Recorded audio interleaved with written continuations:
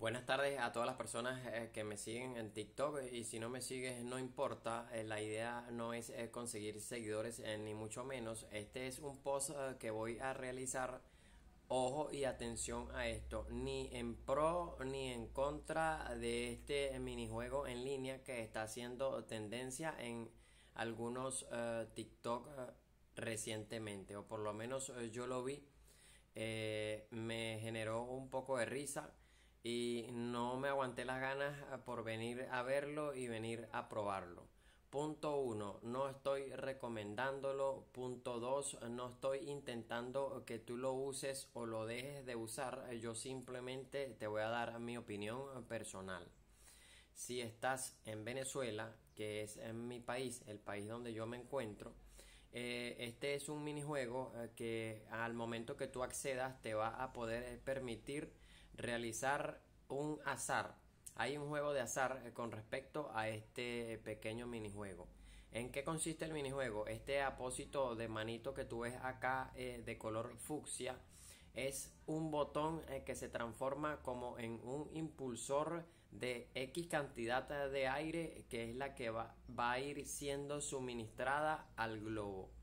Si la cantidad de aire es grande, eh, eso implica que tú estás generando o tú estás arriesgando dinero, dinero que te saldrá en la parte superior de la pantalla, eh, que es el dinero que tú tienes en cuenta.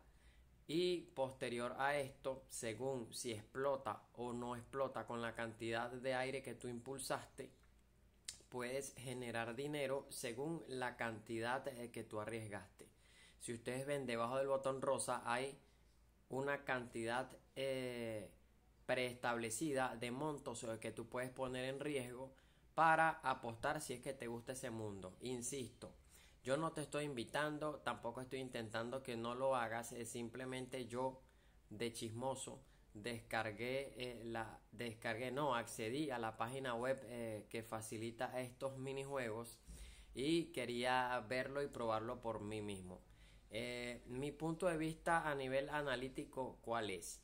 Eh, me he dado cuenta que no hay un patrón específico. Así dejes el dedo pinchado en el botón, que lo dejes pisado, el globo va a hacer una expansión, pero esa expansión es simplemente eh, demostrativa, es solamente gráfica.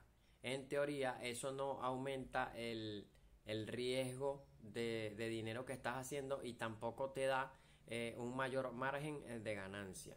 En cierto modo, el juego lo que te lleva es eh, como a una regularidad donde te lleve a su vez, valga la redundancia, a sentir confort, a sentir confianza en, en, el minijuego para que te entre las ansias y metas más dinero.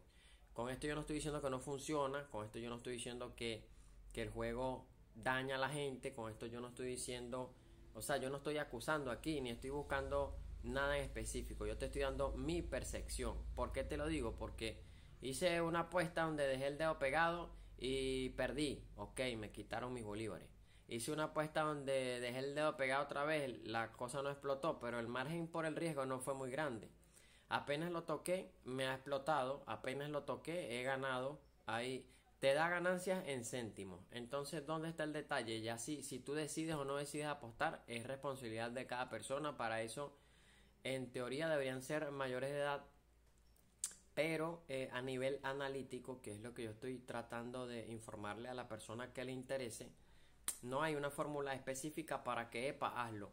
En todo este tipo de juegos y la persona que apueste o que tome la decisión de apostar eh, sabe eh, que hay un riesgo muy alto y es cuestión de muchos factores, entre otros eh, el nivel, el rango de programación que tenga el minijuego para asumir eh, apuestas, asumir riesgos, eh, darte márgenes de ganancia. Recordemos que este tipo de, web son programadas bajo parámetros, así tú puedas ganar, que yo no estoy diciendo que no hay personas que, no hagan dinero con esto, muy posiblemente sí hay personas que lo hicieron, pero eso está algo similar como las apuestas piramidales o todo este tipo de cosas donde se vio. Hay gente que dice que ganó dinero. Ya todos sabemos cuál es la explicación. ¿Ganaron dinero? Sí, en teoría.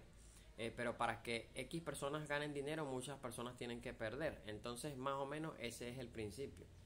E insisto, yo no estoy diciendo que el juego es malo, que el juego es bueno.